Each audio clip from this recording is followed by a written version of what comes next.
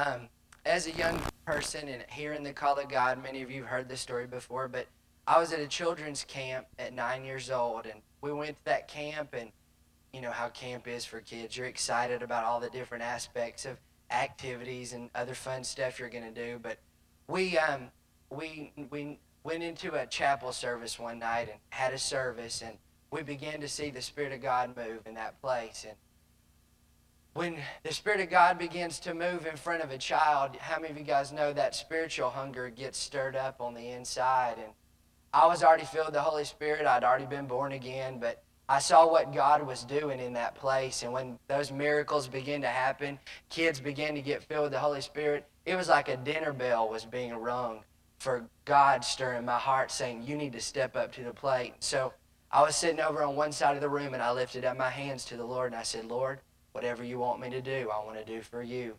And not two seconds later, the Spirit of God spoke to me right down in here in my spirit and said, Jeremiah, I want you to tell boys and girls all around the world about me.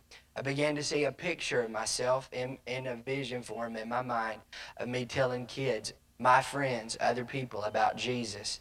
That night there was a slew of kids down at the altars that were praying and asking to be filled with the Holy Spirit. I stepped out from that point and said, Lord, you said you want to use me.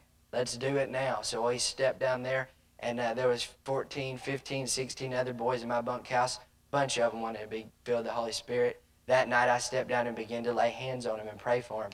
One by one by one, all those boys started to be filled with the Holy Spirit. I saw God wasn't just speaking to me saying, wait till later, he'd use me now. I went back home from summer camp and my children's pastor at the time uh, shared with my parents what had happened to me. And um, actually, after that service was over that night, the, um, the speaker that was speaking was a guest speaker I uh, went up and told him what God had done in my heart. And he took me and put his big old arms around my head and gave me one of those little noogies on the top of the head. And he pointed his finger in my face. And with confidence in his eyes, he looked at me and he said, Jeremiah, I believe with all of my heart God's going to use you just like he said he would. You know what? There's been difficult times down through the years where people have not believed in the call of God on my life or tried to discourage me and stuff like that. But you know what I remember? I remember General Roy Evans pointing his finger in my face and saying, I believe God's going to use you just like he said he would. I believe that with all of my heart. You know, then I went back to the church and began to get involved in ministry, doing whatever I could, uh, doing puppets, cleaning up trash after children's church, doing whatever I could, serving in that way. But then when Pastor Van came to the church and, and God brought him to be a part of the ministry there, he did something different than all the other people had done before. And you see it in the ministry here at Brownsville with the kids being released to do what God's called them to do. A lot of times there's just little bits of responsibility somebody will release a kid to do, but they never really trust them. They, they, they're afraid of what might happen. And I'm not saying you just need to let everybody go and just do whatever they want to. But he poured into me and put me under his arm and poured into me and poured into me. And then he did what nobody else had ever done before. He began to release me to exercise those gifts and those callings and that ability that God had placed on the inside of me. Pastor Van, I'm so thankful that you did that. That was the making and changing uh, changing of my life when you did that for me. And I just want to say to everybody here today, there's kids in your church that are just like that. There's kids that have the gifts and the callings of God on the inside of them, and they are just waiting for somebody to believe in them, to recognize that, and to begin to disciple them and then release them to do what God's called them to do. How many of you want to have that in your church? You want to see God do that? Would you stand up on your feet? We're going to pray before we get started today. And uh, just lift up your hands and let's just open our hearts to the Lord today and say, Lord, whatever you want to do, do it in my life today. Lord, we lift our hands. We lift our voices to you, Lord God. And we thank you, Jesus. You are the head of the church. We thank you that you're in control of the things that happen in our church. But Lord, we yield ourselves to you fully and completely. Lord God, we open our hearts hearts to you. And Lord, we thank you, you would open our eyes to see those precious kids that you brought into our body, brought into our children's church. Lord, we thank you, Lord God, that we'll see them through your eyes. And Father God, as we disciple them and as we pour your word into them, Father, we thank you that you'll help us to release them, to maximize their giftings and potential and abilities, and to release them to do the work that you've already called them to do. Lord, open our eyes to see clearly and to put this into practice today. And we give you thanks and praise for the eternal fruit that'll be brought in the kingdom of God. Lord, I thank you today that you'll help me to step into the background. Father, I thank you that you'll step into the foreground. Lord, use my meager words, Lord God. Uh, uh and speak through me and help me to convey what you put in my heart clearly. Thank you for the anointing. In Jesus' name, amen. I just want to say today, like I said the other day, that we live in a world that the enemy has not waited to offer counterfeits to our kids for the power of God. We live in a world where the enemy doesn't wait till a kid gets grown, up to try to offer him his plan and his purpose. I was brokenhearted last week. I stepped into uh, our Christian school at our church, and a, a, man came up to me and said, Pastor, did you hear what happened to a, a, kid over at another Christian or a, a good community school. It's a, one of the better schools in our city. There was a little first grade girl that um, went to the bathroom. Someone um, in the sixth grade pulled that little girl aside, molested her in her very own school last week in Montgomery, Alabama. The enemy doesn't wait to try to ruin and destroy kids' lives. Last night we saw the thing with Marilyn Manson. Do you think the enemy was waiting on him? No, he was beginning at the very earliest of age to begin to lay strongholds in that young man's mind to keep him from following God's plan and purpose for his life. The enemy's after the kids. You see it in the way people even spend their money nowadays. They are after the minds and the hearts of young people. Why do we as the church want to sit back and not go after those precious and tender hearts that are waiting to be molded and shaped for the gospel of Jesus Christ. Do you know what the enemy doesn't like when kids get filled with the Spirit and the power of God? He's already tasted it time and time and time again. Think about in the Old Testament when Shadrach, Meshach, and Abednego, the Hebrew children, he had a plan that he wanted to try to cut their lives off. But those young men were filled with the power of God, and the tables were completely turned on the enemy. He hates it when kids are anointed and filled by the Spirit to do work. Think about old David. At, uh, as a young man, as a shepherd boy, God using Samuel to anoint him as the king over Israel. And then David doing what God called him to do, going up to fight that old Philistine giant that was standing against God's people. The enemy hates it when kids get a vision of what God wants them to do and then get anointed with that power to step out and do it. He's had his he's had trouble with that from the very beginning of time. He doesn't want to see it happen, and I don't want to let him have his plan succeed. I want to begin to release kids to do what God's called them to do. Let's keep giving the devil fits over and over again. Esther, think about Esther and the story of God's people being preserved. She was a young lady. God sent her for such a time as this to be a deliverer for God's people and to help them. And so the enemy doesn't like it when young people get anointed to do a task for what uh, uh, uh, God's called them to do. He hates that. He hates it when young people uh, find out God's plan. You know what? Some people don't even believe God does have a plan. I want you to turn to Jeremiah chapter 1 and verse 5. Open your Bibles to Jeremiah chapter 1.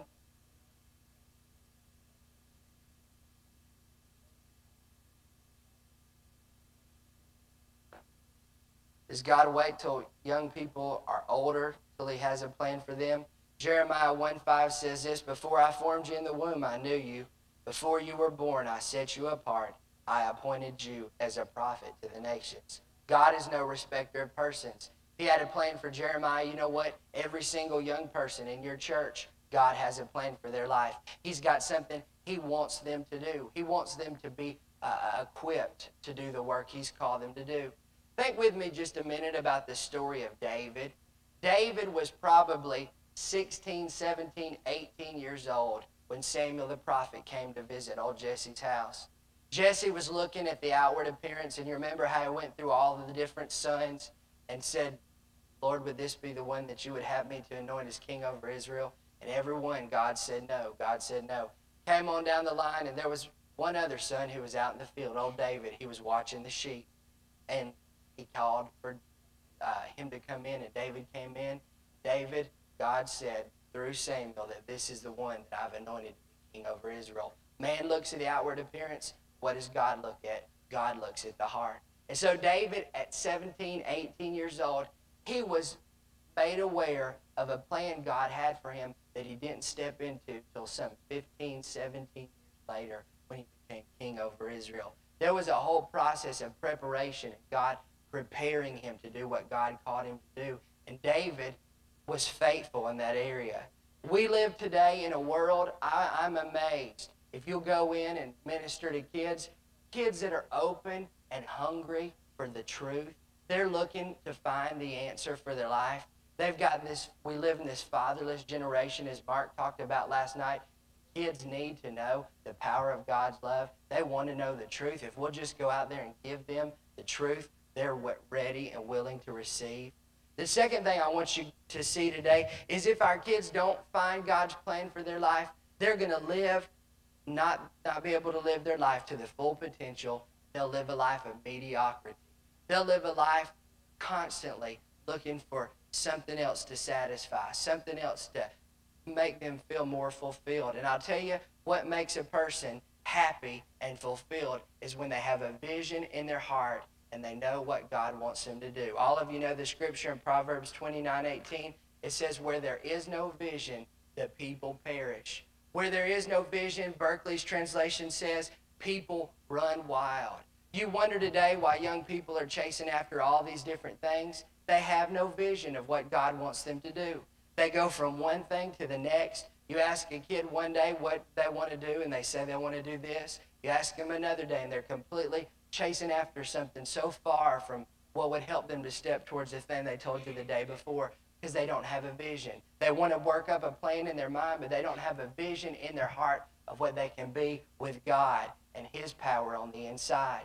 Let me tell you this. As a nine-year-old kid, I was a kid. Just because you're you have something on the inside of you spiritually doesn't mean you automatically become completely mature in spiritual things. Do you understand that? When I knew God called me to be a children's pastor, I didn't understand all the reasons why I needed to follow Jesus with all of my heart. I knew I needed to do that, but I didn't understand why. Do you know what kept me focused and moving in the right direction? is I had a picture of what God wanted me to be. And even at a 9, 10, 11 years old, I could ask myself questions. Is this helping me to get to what God wants me to do? Is this helping me to be what God wants me to be? I've never smoked a cigarette before. Why? Well, as a young person, I just knew children's pastors didn't smoke cigarettes. You understand that? I didn't have this deep revelation that my body was a temple of the Holy Ghost and all of this. You know, I, I just knew my children's pastor didn't smoke a cigarette. I better not do that. You know, I knew that children's pastors don't do drugs. They don't drink alcohol. Did I have this deep thing down in my spirit? No. I had a vision of where I was going, and it was that helping me to get to what God's calling me to do? I wanted to have the more that God had for me. I wanted to have His plan and His purpose, so I needed to follow those steps so it helped me to get there. I was blessed a few years ago to go to focus on the family in Colorado Springs, Colorado, and be a part of, of the ministry there. If you've never um, heard of Dr. Dobson and what goes on at Focus on the Family, a tremendous ministry reaching out to hurting people. And um, when we were there, Dr. Dobson actually suffered a stroke. You were, if those who remember that, it was during the time I was there, and and um, you know, seeing the prayers of the saints come in, and watch how God miraculously just turned the whole thing around we were blessed to be there at the same time. Staff was all told that um, Dr. Dobson had suffered the stroke, may never be able to speak again, um, never be able to direct the ministry God had given to him. And then one day there was a, a, a United Chapel service for all of the staff that began to lift up their voices and worship God as they did. Out from the back walked Dr. Dobson just seven days after he'd suffered a stroke, just a few days, came in and should have seen the power of God just, just come down on that place across denominations. There's women that just fell into the power of God right there. The power of God was so strong. he got up and began to speak what doctors told him just a week before he wouldn't be able to do. It was amazing. But he got up, and, and during the time of me being there and getting to hear about him, that man had a vision and a, and a heart like I've never seen before. And he also had a discipline. He's the most disciplined man I think I've ever met in my life. They told him after he'd suffered the heart attack, even before he had a stroke, that uh, uh, Dr. Dobson, you don't need to eat any more fatty food. You just need to stay away from that that um, you know has fat. So, how many of you know we do need some fat is healthy for us? And Dr. Dobson took it so literally what they said, no fat, that he didn't eat anything. He knew what God called him to do, and he wanted to take care of his body. He had a vision of where he was going. So he didn't eat any fat. Went back to the doctor for a checkup after a while. They said to him, "What What are you doing? What's not right?" And they he said, "You know, I hadn't been eating any fat. I did told him to." And they said, "No, no, no, no, no. You need to eat some. Don't completely just forsake it all." But just to have a discipline like that, to lay off the ice cream, children's pastors. You know what I'm saying? To step back from those late night snacks that you run in and grab. There's a discipline that follows a vision. And that man demonstrated that to me when I heard about that. When you give kids a vision of what they can be, there's going to be a discipline that follows that. They'll be able to run with what God's put in their heart, and they'll be able to stay focused. You know, a picture motivates kids. When they can see what they can be, they, they, they can run towards that. They can follow after that. The promises of God of what we can be are always coupled with our actions too. We've got to be willing to, to make commitments to the things of God if we're going to see the rewards God promises. In Joshua chapter 1, it talks about the blessings that the Lord wants to bring to us. But it says, if you'll meditate on my word, then you shall make your way prosperous. There's all these things that we've got to do. We've got to make a commitment to follow after the things of God. Now, where does all this start from? We've got to start in the very beginning by training kids that they can be used by God. We've got to start in the very beginning by instilling into them that God has a plan for their life. Proverbs 22 6, it says this Train up a child in the way he should go, and when he is old, he will not depart from it. How many of you people have heard that scripture quoted the wrong way before? You've heard people say, train up a child in the way he should go.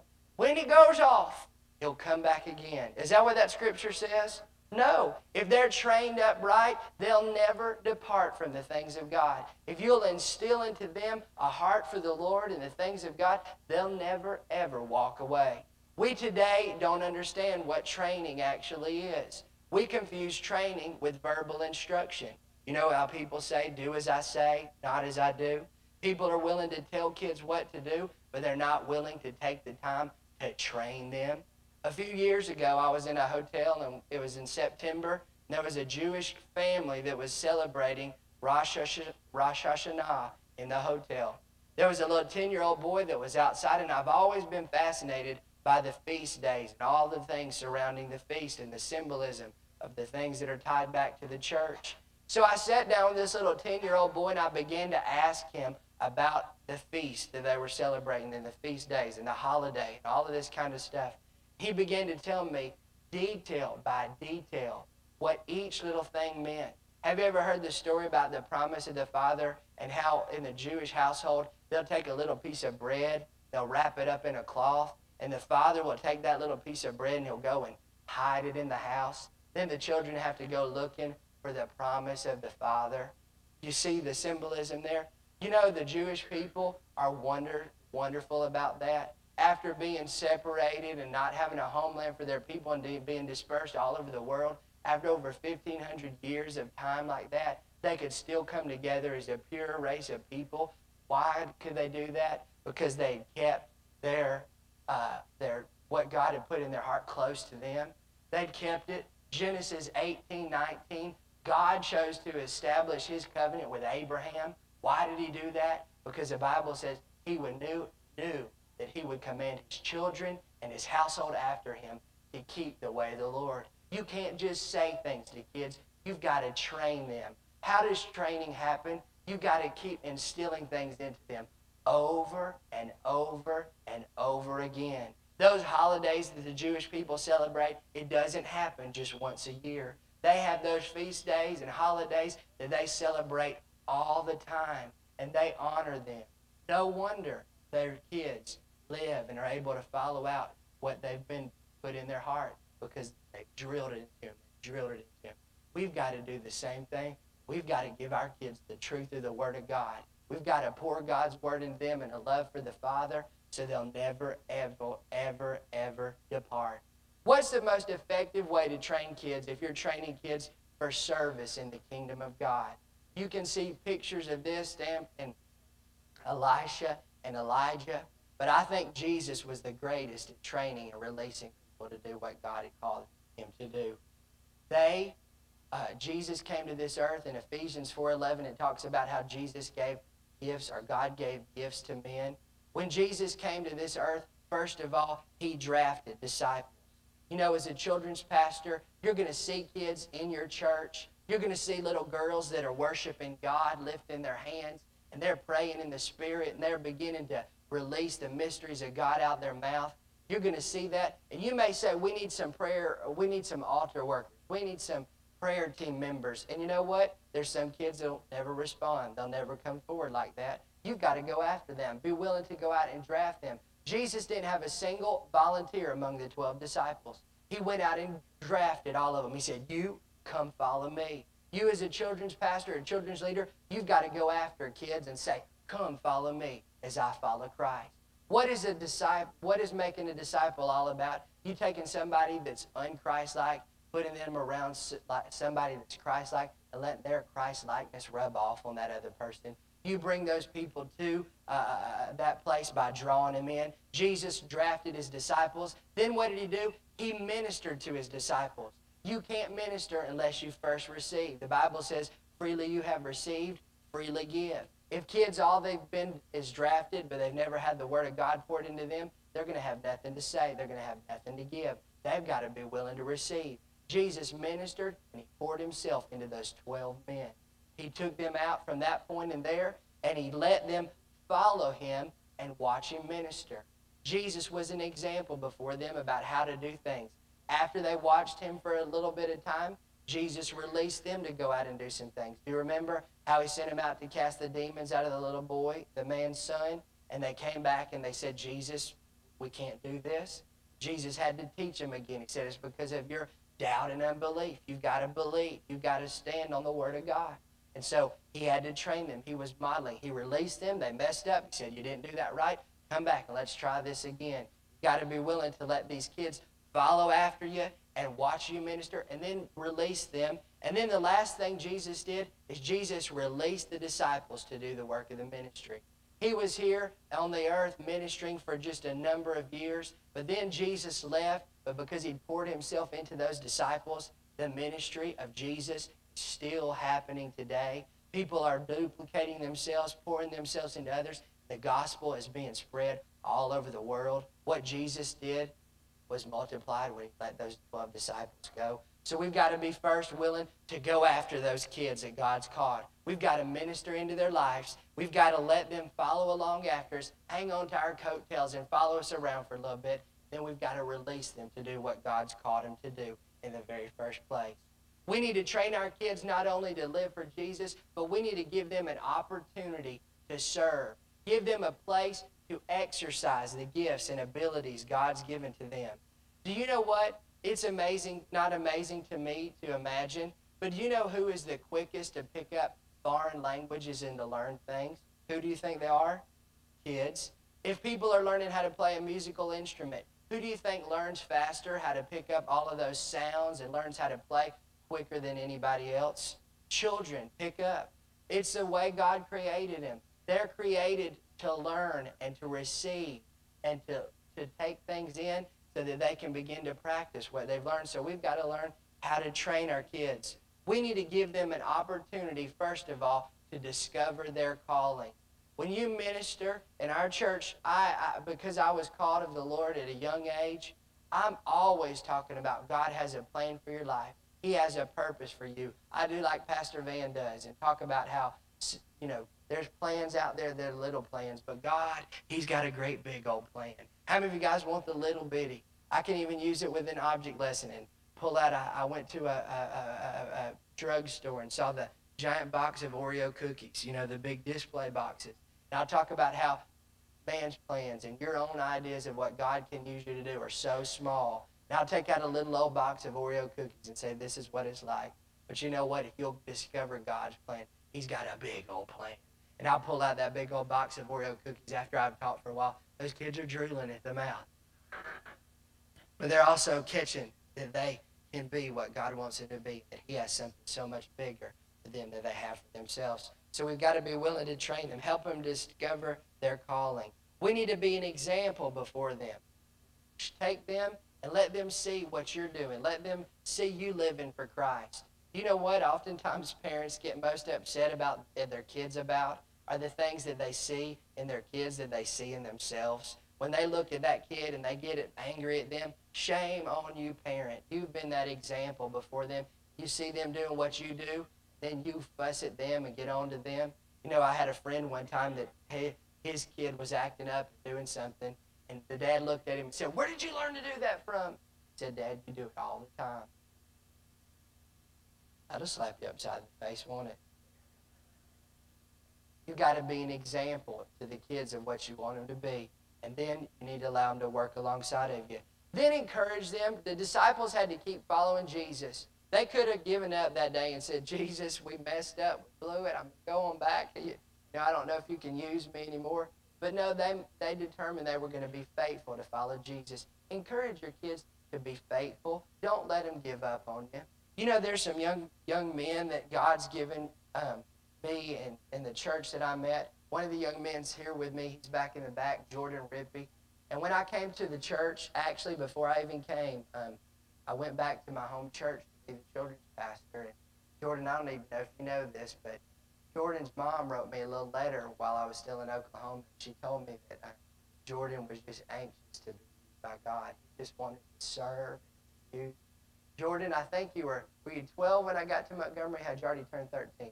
You were 12? 12, is that right? He was 12.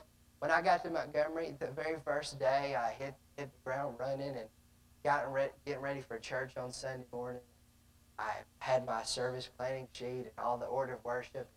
The children's pastor before me, um, just his service was real dry and always the same thing every week. Real, almost traditional. It was in a, just an order, and the kids could tell you next word he say right after he said the last word, you know.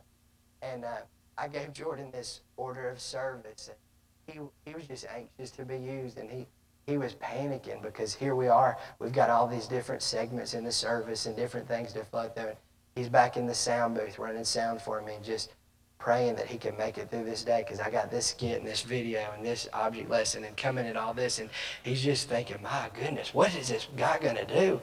But Jordan stepped right in and started to help me and be a part. And I started to pour myself into him and, and encourage him and give him an opportunity to be used.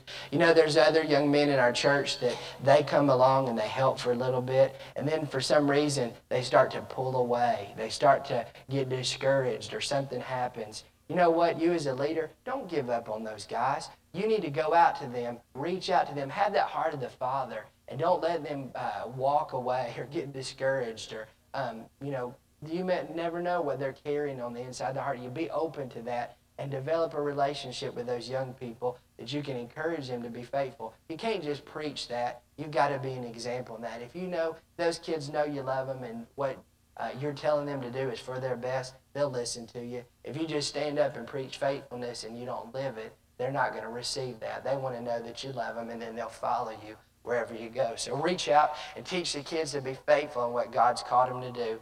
And then, like I said before, release them to do what God's called them to do.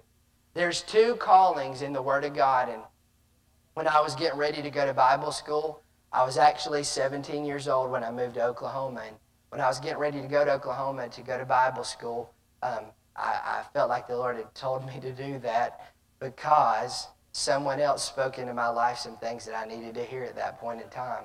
At 15 and 16, Pastor Van, you probably remember this. I was gung ho, ready to go. I thought I was I was supposed to be the next children's pastor after Pastor Van in some ways. You know, I was excited about what God called me to do. But there's two callings. There's a call to prepare, and then there's a call to go. I was hearing the call to get ready, get ready, get ready, get ready. But you know what I thought I was supposed to be doing? I thought I was supposed to be doing that that God called me to do at that point in time. And you know what? I was wrong about that. Somebody was able to point that out to me, and I first needed to prepare, and then I would be ready to go and do what God called me to do. So there's kids that are needing to receive preparation, and then once they've been faithful in that preparation time, God can say, now, hear the call to go. Moses, you know what? I really think when he uh, was raised up at that point where he, he, he killed the Egyptian, I think he sensed the call of God that God wanted to use him to be deliverer for the children of Israel. But he, he acted a little bit prematurely. He was taking things into his own hands. God said, Moses, no, you got some things you need to learn. He had to spend some time out in the wilderness learning how to follow God. He had to receive the preparation. Then God could say, All right, Moses, now go back and do what I've called you to do. Then he went forth in strength because he'd received what God had, had given him to do. The more people you develop, let me tell you this, the greater the influence and the greater fulfillment of the dreams you'll see come to pass. My heart is not just to see my church grow and the kids in my church be blessed, but I want to see people all over the world reach for Christ. And if I'm pouring into these other young people, you know what? Someday I'll be able to step aside and look and see the influence that's been spread all across the world because of releasing people uh, and pouring myself and pouring God's word into them. So pour yourself into the people. The last thing that I want to encourage you to do is to develop fruit that remains. You uh, uh, see children's pastors all the time, and it's a crying shame. They want to build a children's ministry all around their personality and all around everything while they're at that church. Children's workers are the worst about doing things all by themselves. They try to do things with them and their wife and their family. They want to do it all themselves. But you need to learn to release people in, into what God's called them to do. In our children's ministry, we have um, 12 key leaders that God's given us to, uh, to serve in areas. There are people that are over our, our helps ministries. There's people that, that are over our inner city ministry, people that's over our missions education program, all the different aspects of the ministry. And those people are people that God's sent and raised up in our church to lead in the way that he, He's brought them in. A few months ago, actually September of last year, I was down at the altars and I was praying. There was a man that came and spoke in our church about change.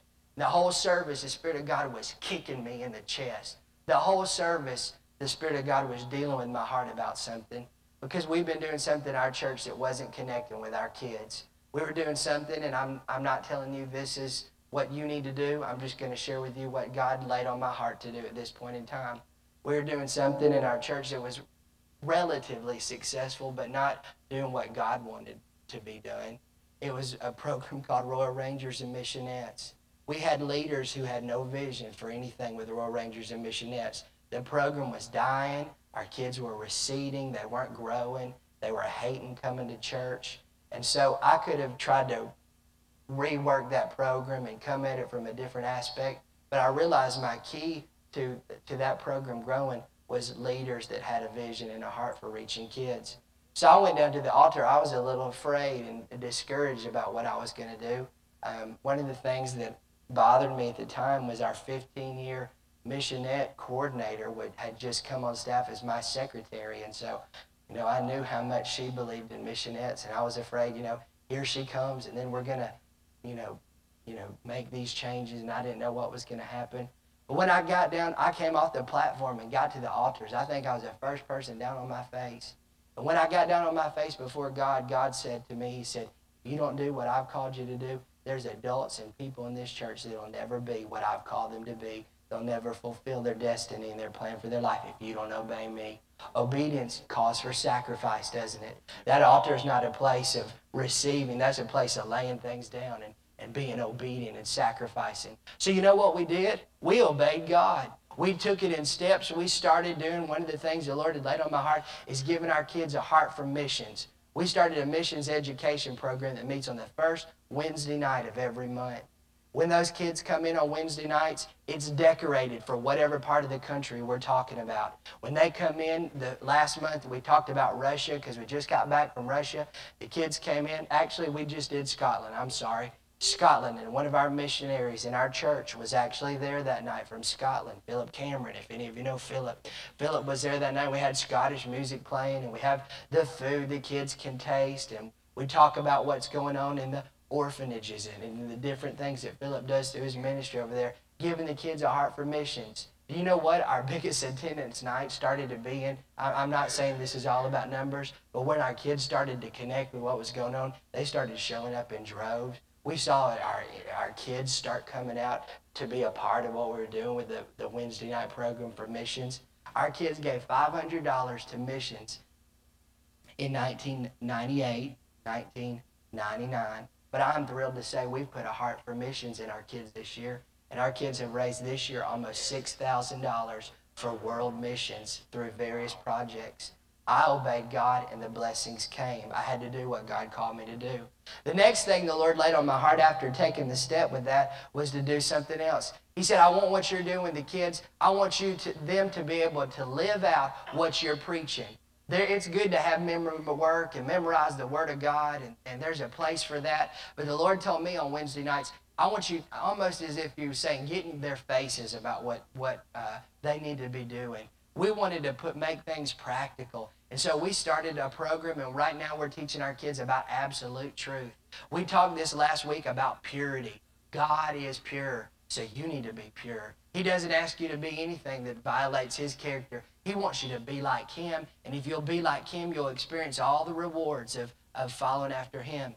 Fifth and sixth graders, I got to go speak and minister to them. Do you know what? Those kids are understanding what purity is all about. We're relating to them, and our kids are being changed. You got to be willing to obey God and follow after Him. Don't get stuck in a rut. Don't keep doing something just because you've done it before. Obey God, and you'll see the rewards like you've never seen before. So step out and be obedient what God's called you to do. You got to be faithful in that, and God will bring blessings. I said all that to tell you about the leadership, though. Those people that God's brought along, do you know how excited they are? My missions education coordinator, she came in my office the other day, big old tears running down her face. She's a homeschool mom. She said, Pastor Jeremiah, if I could, this would be all I'd ever do. She said, I know I need to, I need to do what I'm doing with my kids. And she almost asked me like this. She said, do you think it'd be all right once my kids grow up if I just did this all the time? You know, she's just gotten a heart.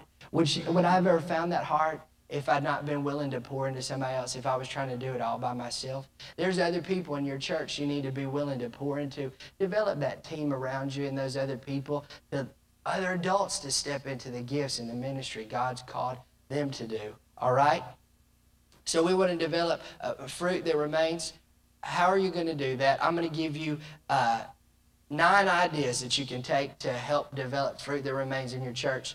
First thing you can do is provide places for your kids to serve. Provide places for your kids to serve. Everything that we want our kids to be as an adult, we're going to teach them how to do it as a kid. I want our kids to worship God in spirit and in truth. So what do we do? We teach uh, our, our, our, adults to worship God in spirit and truth. What do we do? We teach our kids how to be worshipers. We want our kids to be givers. We want them to grow up with a lifetime of commitment and giving and supporting the work of the kingdom. So what do we do? As a kid, we pour into them that giving. We have an offering lesson at every service to teach the kids, give them faith for giving, tell them why it's important that they give.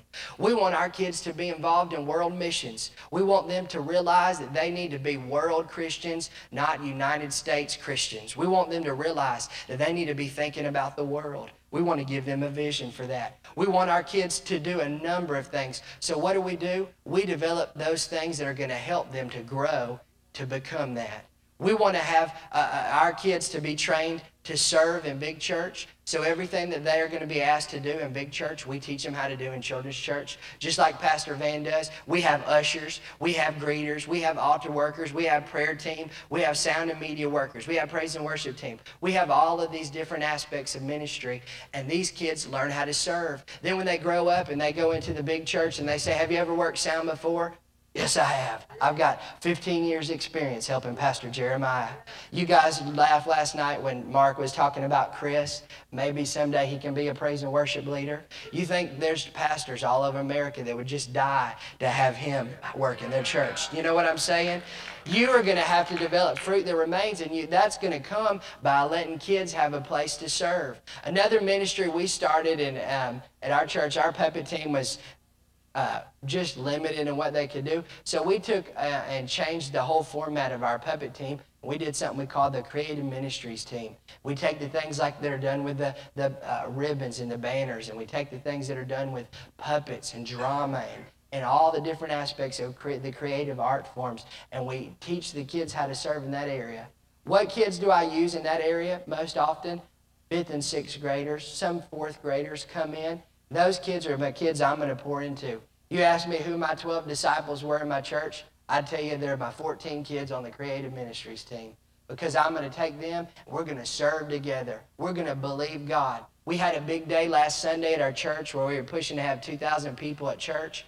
We were believing God for 200 kids. You know what we had? We had 260 kids at church last Sunday. More kids than our church has ever had on a Sunday morning for uh, for a service. And you know what we did on Saturday night when we were practicing? We didn't just learn how to do the, the human video we were going to do at church the next day. You know what we did? Those kids are my prayer warriors. We walked up and down the aisles. We laid hands on every chair in that place.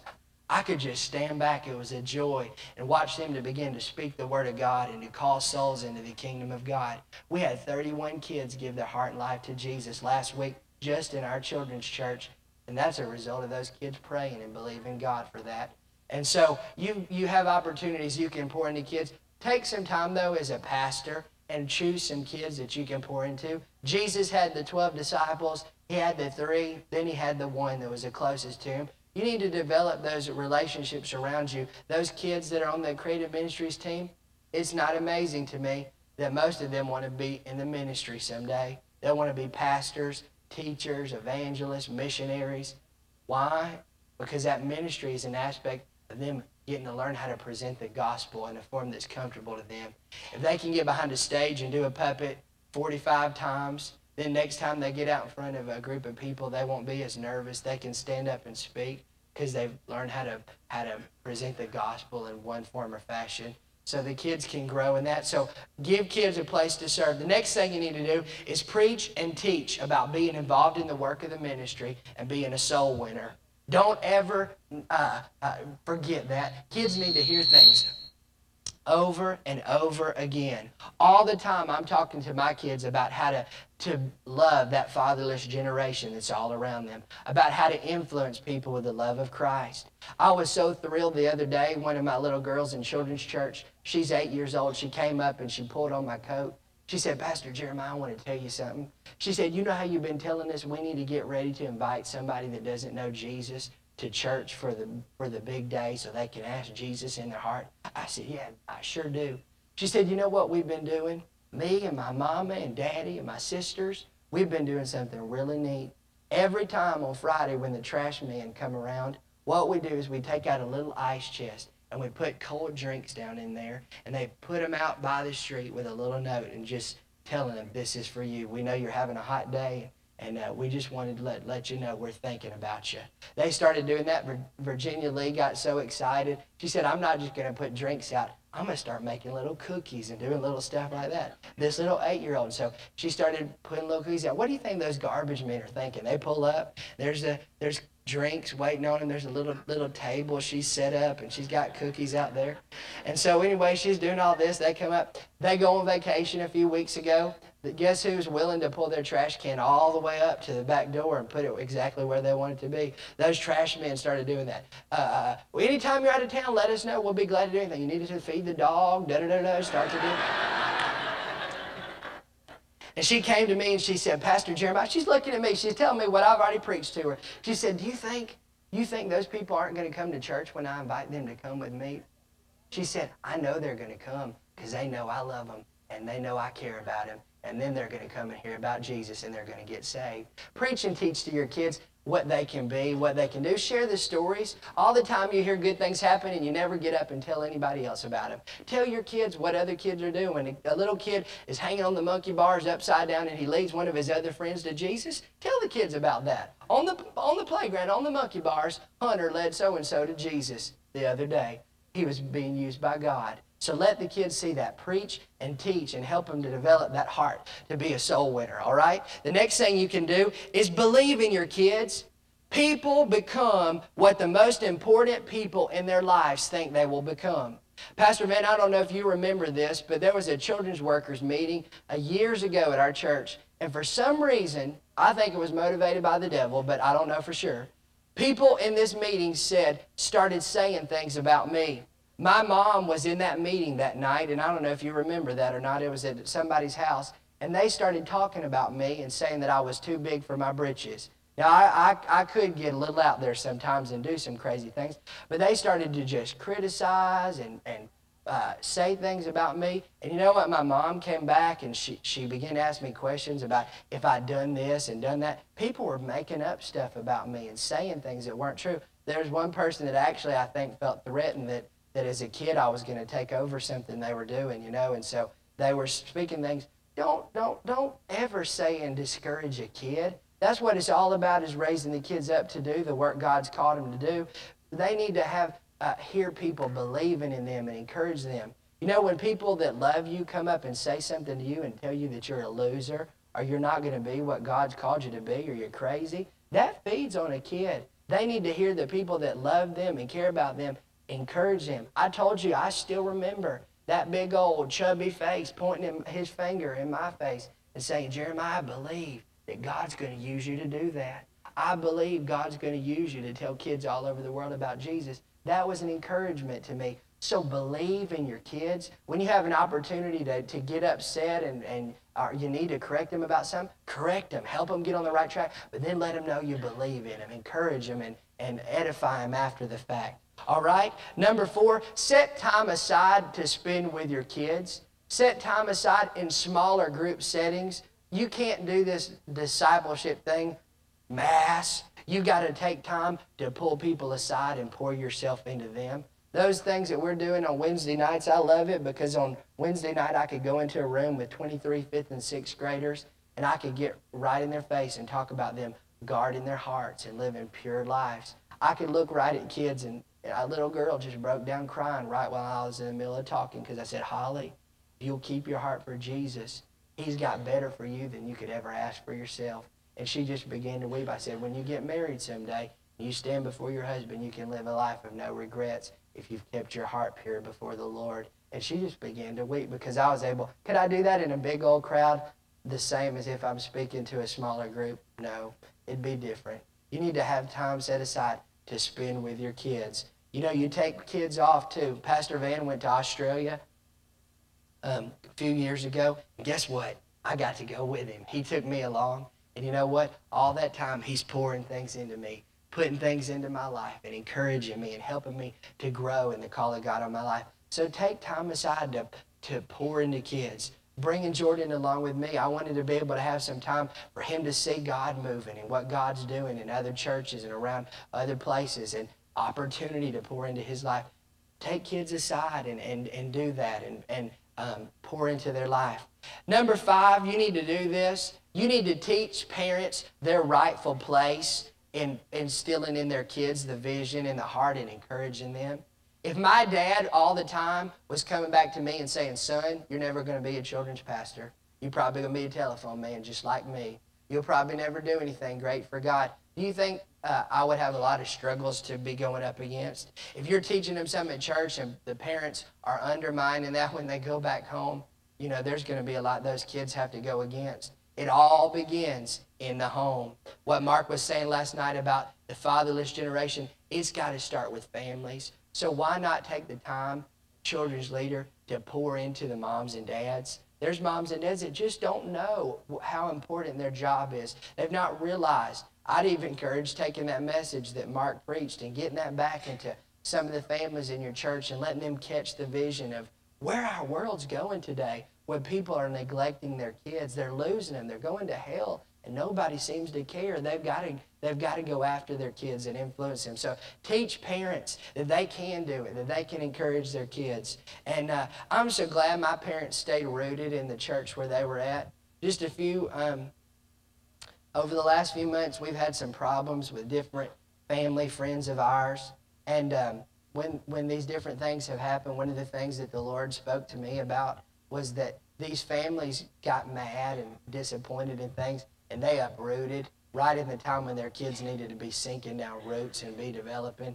And so these parents are hopping around looking for churches when their kids needed to have somebody speaking into their life and encouraging them. And parents think beyond just what their needs are, but what their kids need. They won't do stuff like that when their kids are in crucial teenage years, when they've got people that they've been in a church with for 10 years that have that freedom to come in to speak into their child's life, uh, and then they go to somewhere where they're not even known by anybody. They need to think about that, and, and I'm so glad my parents stayed rooted.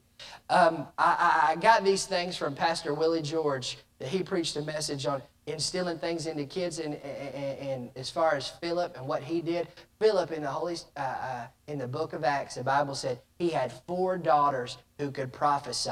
And he gave me some things that i want to share with you today that you can help these parents to understand that they can be an example before their kids. Why did philip have four daughters that could prophesy?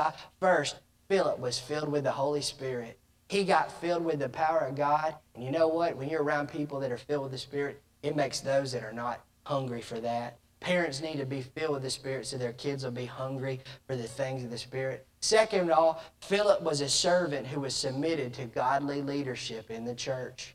Do you know what? More often than not, Pastor Van, you'd probably agree with this. The kids that are most active and involved in the ministry are kids whose parents are serving in the local church and being involved in some way. When kids see their parents doing it, it's just natural for them to do it. So these parents that you're going to be training and encouraging them, you need to tell them, hey, you need to be involved. Your kids need to see that example. You need to do it for yourself. You need to be pouring into people, but your kids are watching. So Philip, he was a servant submitted to godly leadership and involved in the church.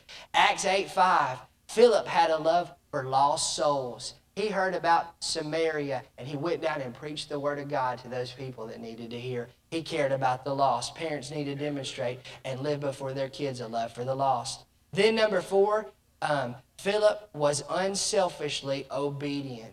In Acts chapter 8, the angel of the Lord appeared to Philip and said, Philip, you need to go down. And, he, when able, he was able to share with the Ethiopian eunuch.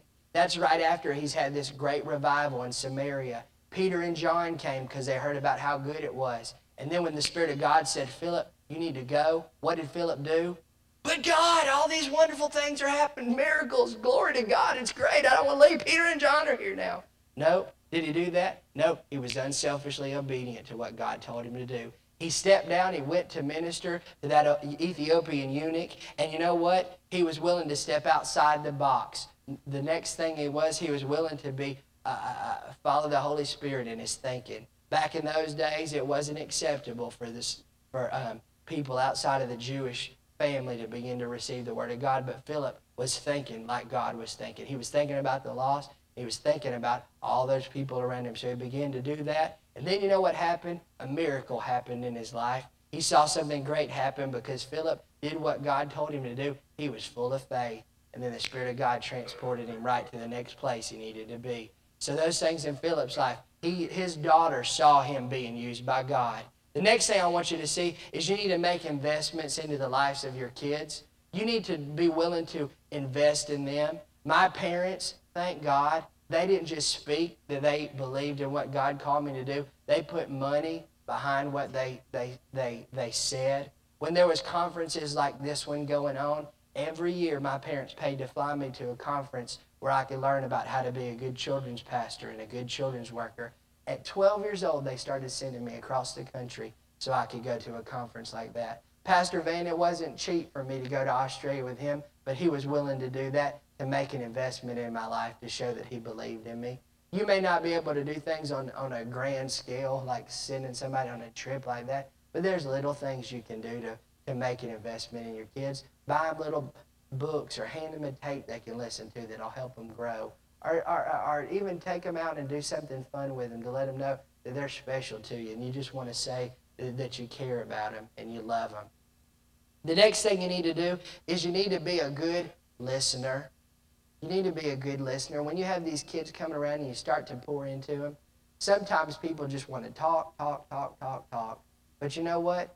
Sometimes guys like me, when, uh, where we're learning to be used by God, we need somebody that'll just listen to us when we begin to say things out. So be a good listener. Pastor Van is a great listener when I needed to talk to him about things. Other people that God's put in my life to be able to, to talk to and they're listening and encouraging me.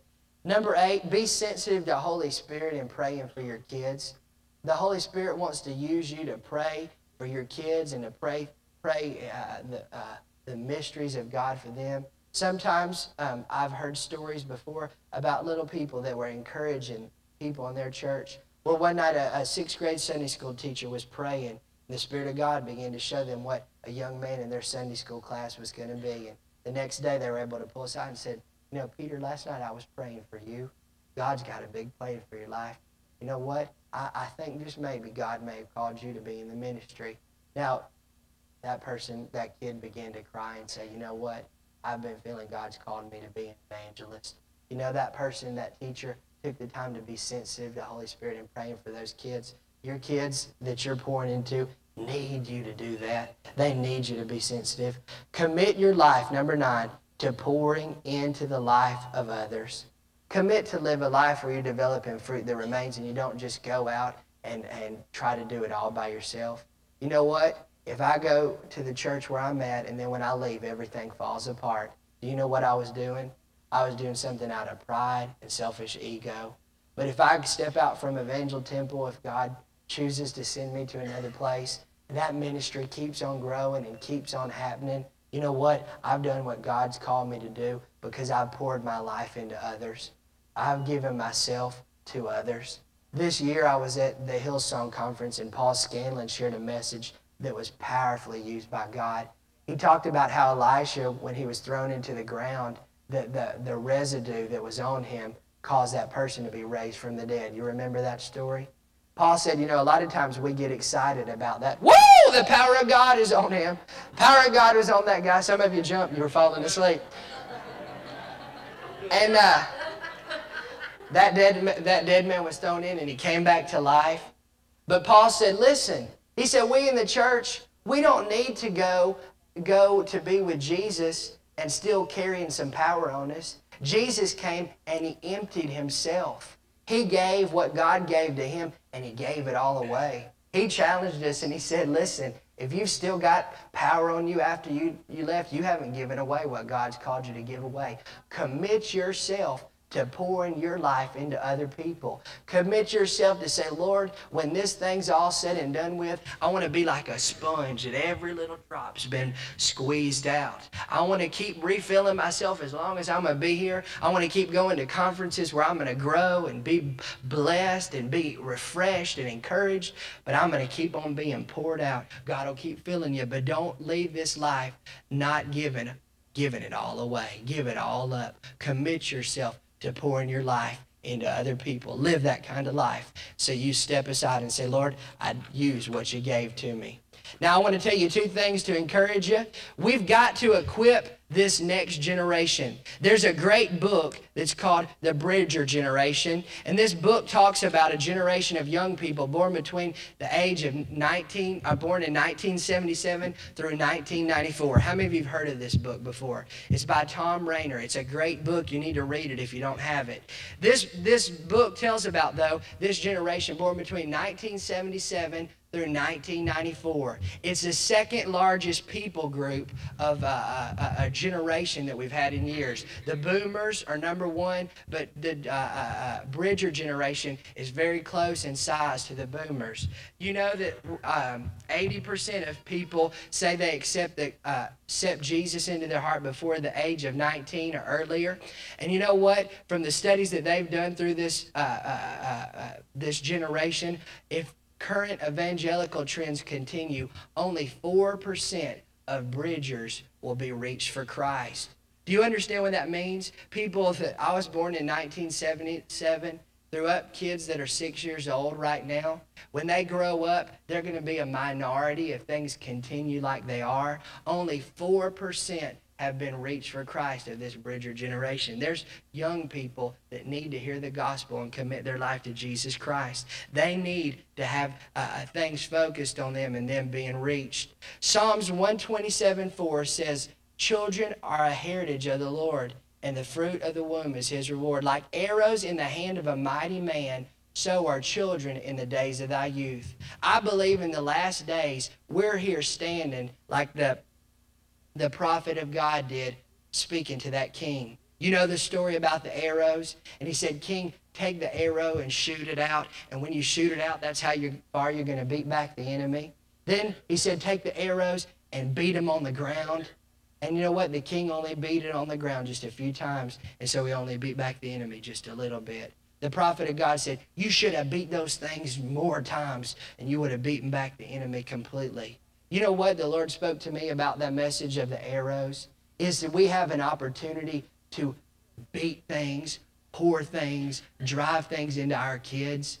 And then when we stand up, we stand up like the scripture says, like arrows in the hand of a mighty man. So our children in the days of thy youth, you stand up, you begin to throw them, and then with strength, they go out by the power of God to do what God's called them to do.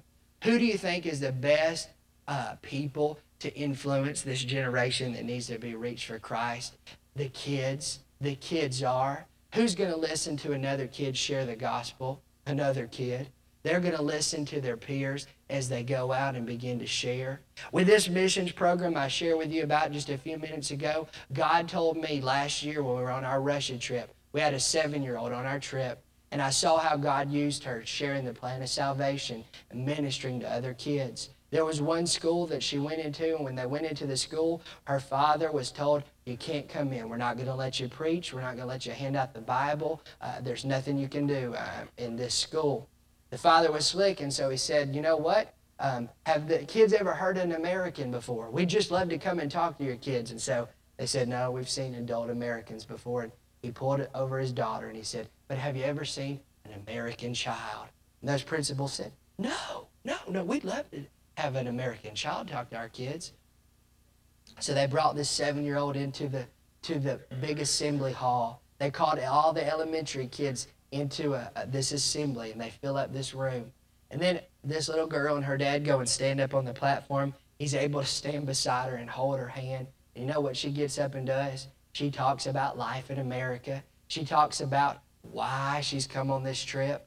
And then you know what? By the prompting of the Holy Spirit, she felt like she ought to tell kids about Jesus. So she said, told them the plan of salvation, began to share about how much Jesus loved them. You know what she did? In a school where they weren't even going to let them get up and speak, she gave an invitation, and uh, several hundred kids gave their heart and life to Christ right in the middle of the school in Russia. She got up and was used like, like that. And when I saw that, she was more effective than the greatest preacher on our team. When we finished that trip, we were going back home, and all through the time, the Spirit of the Lord just prompted me. There's something I want to tell you about this. There's something I want to tell you about this. I began to ask the Lord, and the Lord said, This is not the only kid that's supposed to come. You're supposed to bring other people with you. I had read in Charisma magazine several years ago about John Tash and what he does with the uh, the kids missions teams, and so I pulled together some resources from that. We started to believe God and and, uh, ask the Lord how to how we could do this. We identified who we wanted to take on our team. This year we put together a team of five kids. We had a seven, uh, eight-year-old, ten-year-old, eleven-year-old, uh, thirteen-year-old, and a fourteen-year-old go on our trip. We had five five young people on our team this year. The trip cost uh, $2,500 a person to be able to go. We couldn't do anything as far as helping them. Uh, we did were able to do one or two fundraisers that helped a little bit. Those kids were able to generate some of that. We had an offering that raised about half of it. But you know what? Those kids raised the other half of that money. They went on this trip this year, and do you know what happened on that trip? They began to get up and share about what God had done in their life. And you know what happened? Who was the most effective minister of the gospel to speaking to those other kids? Those kids were. They'd watch the adults as they shared a little bit. and They'd wait for little Angel to get up to the microphone or, or wait for Dawn to have a chance to sing and then to share what was in her heart. And then these young people, by the droves, committed their life to Christ. Our team was broken up because of traveling difficulties, and the 10 year old on our team actually got to go to a city that's on the Chinese border. How many of you believe China is about to open for the gospel? She got to go to the Chinese border to a city called Krasnoyarsk.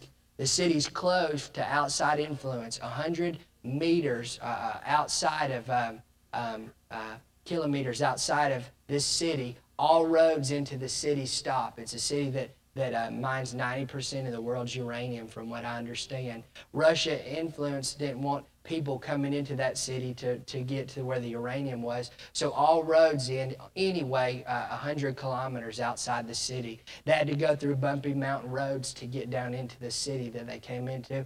Then they come up on this huge city with high-rise buildings and different stuff like that. A, a city, I think, of uh, 50, 60,000 people. They went in and they put together a meeting and a service. They packed out a crusade hall that could sit somewhere between five and 600 people. From what I'm told, because I wasn't there, there was five or 600 kids outside. And they gave an invitation that night as those young people got up to minister. The young lady that was on our team and others who were a part of the young team ministry. You know what? When they gave an invitation that night, Every single person in the auditorium raised their hand, stood up on their feet, and said, I want to commit my life to Jesus Christ. You know what? These kids can be used by God to do what He's called them to do. They don't have to wait. It's never too early. They can be used by God right now. They're arrows in our hands, but we've got to release them out to do what God's called them to do. We've got to pour this stuff into them and let God pour the stuff into them through us, is what I'm trying to say. And then let them go out, release them to do what God's called them to do, and it's going to destroy the power and the work of the enemy. He's going to use them like that. When these kids came back, we had a testimony service, and I, I had seen a level of growth and maturity and, and uh, before we left, and then things that they did while we were there. But when these kids came back, my pastor was so great. He let two adults share, but guess who got to share the most? We let all five of those kids get up and share what God had done. Do you know what happened? Our church, their eyes were open to what kids can be, what kids can do, what kids can uh, go after when the power of God's on the inside of them. And I, I, I'm standing amazed and waiting to see what God's going to continue to do. We've just gotten back. There's kids chomping at the bit to go on our team next year, ready to be used by God. If you'll allow these kids to be used, I really believe we can see a generation of young people that the enemy's tried to destroy. He's tried to break their hearts. He's tried to stomp their dreams out. We can see them turn back around if we'll equip and train the young people and release them to do what God's called them to do. They're the natural evangelists for this generation. And I believe that we're going to see the Word of God fulfilled in the last days. We're going to see sons and daughters begin to move out. What does a kid want to do more than anything? A kid wants to be able to have a freedom to speak. They may not even want you to agree with them after it's said, but a kid wants just an opportunity to be heard. When those kids get up, they begin to share those things God's put in their heart. They begin to find the the, the fulfillment that God's going to use me. God's given me an opportunity to be a vessel for Him, and I can't wait to see what God's going to do through you as you step out and even greater say, Lord, I want more. I want the kids in my church to have more of you and to step out in power to do what He's called them to do. Do you want that? Would you stand and let me just pray for you before we close? Father, we thank you today for your work. We thank you, Lord, for kids that can be equipped for a lifetime of service in your kingdom. Their lives can be changed. Their lives can be directed into newer levels, into a deeper place. Father God, we don't want just the, we, we want nothing of the external. Lord, we want you to move in and take control of the kids' hearts. We want you to captivate them. We want you to love them. We want you to, to reach in them and fill them with your power. Lord God, help us to be equippers of this mighty army that you set before us. Help us to do the things that you've called us to do, to raise them up so that they can be those sons and daughters that prophesy and are used mightily by the Spirit of God. We thank you today for dreams and visions that are coming to pass even right now. Lord, as children's workers and children's pastors have been on their faces before you and they've asked you for the hearts of their young people, Lord God, we thank you that you'll grant it. We thank you that you'll open doors that no man can shut. And we thank you that we're going to see the harvest brought in. We thank you this generation of young people is not going to be overlooked, but they're going to be reached with the power of the gospel. And we thank you for it, Lord, in Jesus' name. Amen.